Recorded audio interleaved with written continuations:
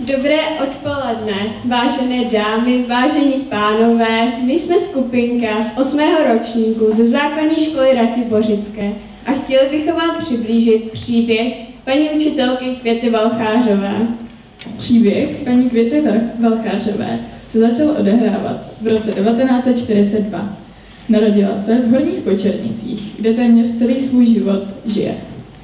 Nejstarší vzpomínky má na konec druhé světové války, kdy s rodiči prchali před bombardováním Vysočan.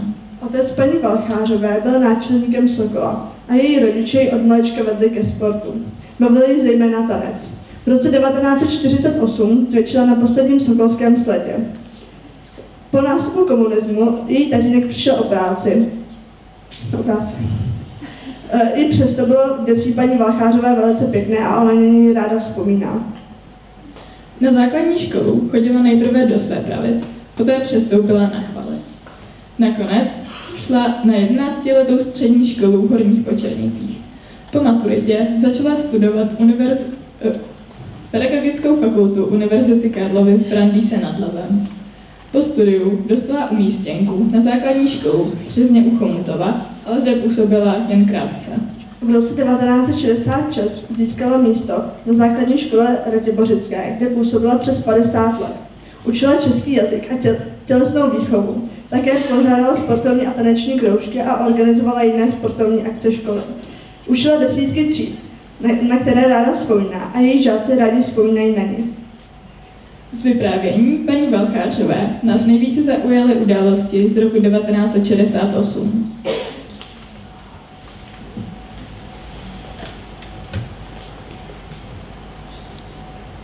Paní učitelka Květa Valchářová se narodila v Horních Počernicích a téměř celý život zde žije. V roce 1968 jí bylo 26 let a měla dvě malé děti. Sroční dcerou byla 20. srpna sama doma. Manžel byl na služební cestě a starší syn s příbuznými v Mostě. Se sousedkou sledovala večer televizi a pak si šla číst. Jak jsem měla otevřený okna, tak najednou jsem slyšela letadla. To lítalo jedno letadlo. Květa Valchářová si myslela, že mají jen nějaké noční cvičení a tak okno zavřela. Koho to napadlo? Vůbec nikoho, že jo? Vůbec nikoho.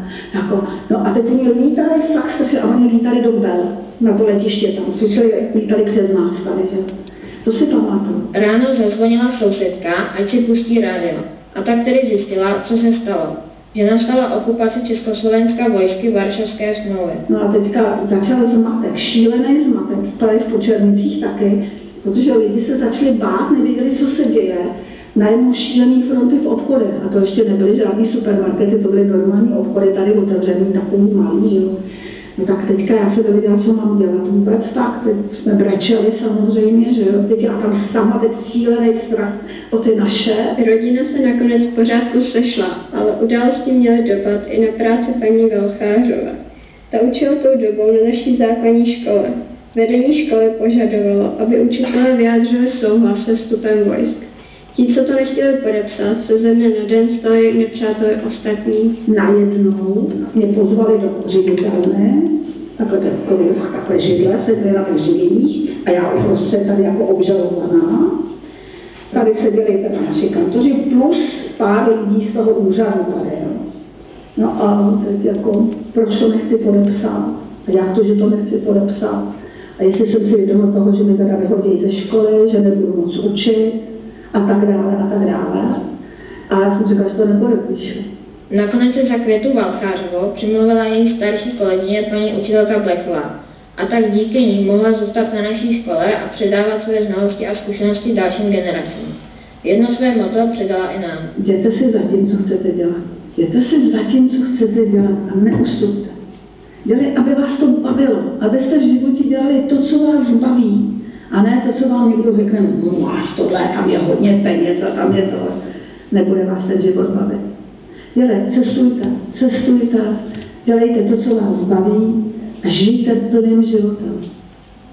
Tak my moc děkujeme za pozornost a největší díky samozřejmě patří paní učitelce Květě Valchářové za její čas a ochotu s námi do tohoto projektu jít. Děkujeme.